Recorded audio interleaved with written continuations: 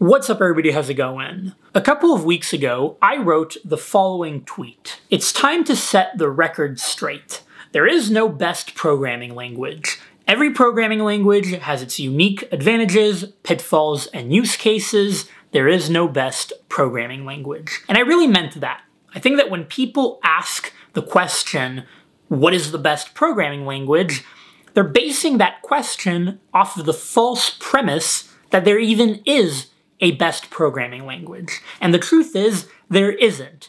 Every programming language does have its unique advantages and pitfalls, and unless you specify your goals, your current circumstances, your past experiences, what you want to do with the programming language, we can't really answer that question. It's like asking what is the best gym exercise. Sure, you might be able to say the squat or the deadlift, but if you don't specify what your actual goal with the gym exercise is, then we can't actually meaningfully answer.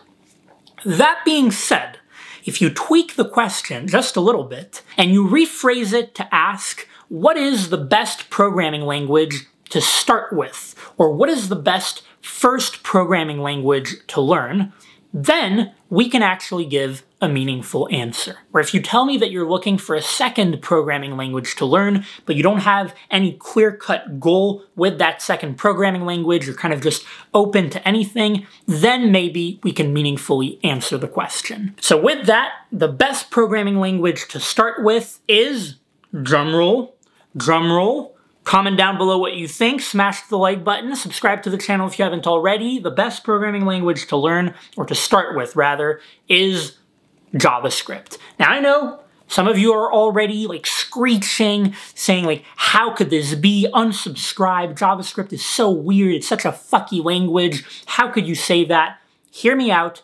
I've got three really good arguments for why JavaScript is indeed the best first programming language to learn. The first reason is that JavaScript is actually a very easy programming language to learn. Now wait a second, I know, again, some of you are already jumping the gun and getting out those memes of like, you know, weird JavaScript operations where you get true if you order things one way and false if you order them another way.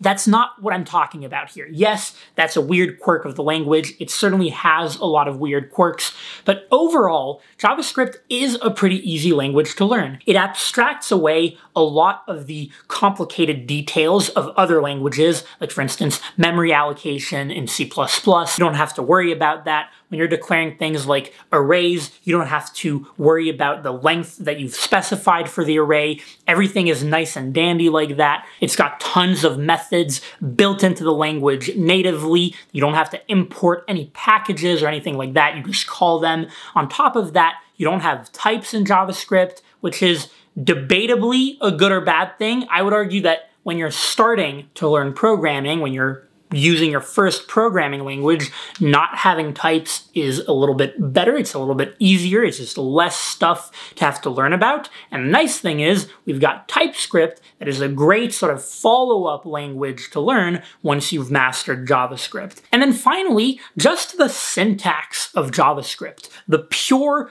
unadulterated syntax of the language is actually quite nice. It's very easy to read. It translates pretty well to other languages. In other words, a lot of other languages have similar syntaxes, so it's pretty easy to learn other languages coming from JavaScript. And having had quite a bit of experience by now reading a lot of other languages and writing in other languages, because for example, at AlgoExpert, my company, we now support nine different languages. By the way, if you're preparing for your coding interviews or systems design interviews, check out my company, AlgoExpert. Go to algoexpert.io and use the promo code CLEM, C-L-E-M, for a discount on the platform. But so all that to say, I can tell you with certainty that JavaScript is quite nice syntactically compared to a lot of other languages. If I compare it to Kotlin or Swift, for example, or Go, I would certainly argue that it's nicer syntactically. And don't even get me started about C++ and Java. Point is, reason number one, JavaScript is a very easy and nice language to learn. Reason number two, and this one is a very powerful reason, JavaScript is uniquely positioned as a language to introduce you to and to equip you to work in both the front end and the back end. You see, JavaScript is the de facto front end language, or at least if we're talking about web development, but even mobile development, as I'll talk about in a second. But if you're looking to get into or to at least experience what front-end development is in the web,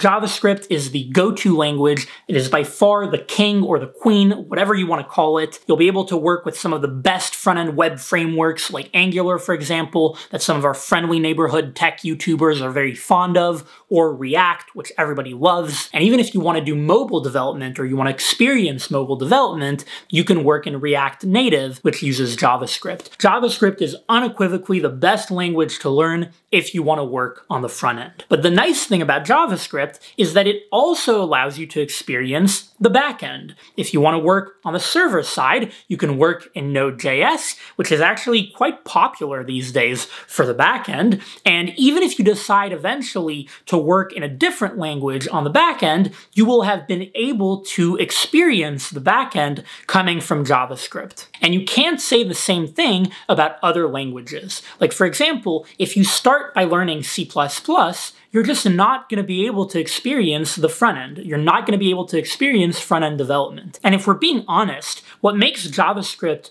so powerful here is the fact that it's the de facto language on the front end. Because the back end, there are a lot of other languages that could introduce you to the back end. But JavaScript is really the primary one for the front end, and it's got the added benefit of the backend. But so that's reason number two, and it's a very powerful reason. Last but not least, reason number three that JavaScript is such a great first programming language to learn is that JavaScript is insanely popular. And here I'll give you three data points that prove that it's so popular. First of all, if you look at the Stack Overflow 2019 Developer Survey, JavaScript is ranked as the most popular language. If you take a look at our data on AlgoExpert, JavaScript is tied at number one with Python as the most popular language on AlgoExpert that people choose to do algorithms and data structures in. And by the way, I would bet that if our video explanations weren't in Python, then we'd have fewer people writing in Python and JavaScript would be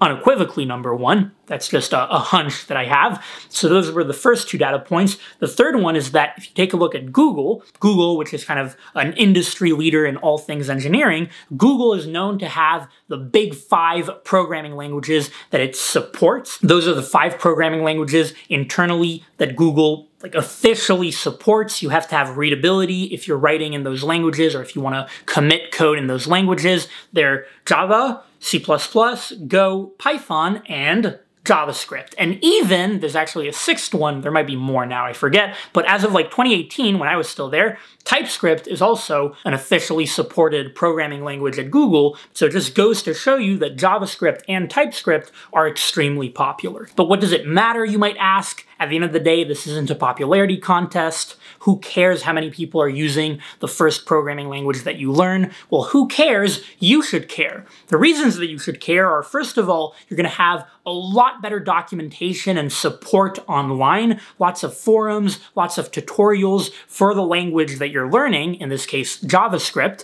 Secondly, if the language is popular, you're going to have an amazing ecosystem in the language. You'll have tons of cool frameworks and projects and packages that you can either contribute to or that you can use that a lot of other languages that aren't as popular aren't going to have. And finally, you're just going to have a lot more job opportunities that require this language. There's a reason that the grand majority of coding boot camps out there are teaching full stack JavaScript because full stack JavaScript is just so popular, it's so in demand, and there are just so many job opportunities for full stack JavaScript developers. JavaScript is just that popular of a programming language, and that matters. So these were the three reasons for which I think that JavaScript is the best first programming language to learn, or if it's your second programming language, let's say you started with something like Java or Python, and you're thinking of branching out now, but you don't have a clear idea of what you want to do, then JavaScript is a great contender.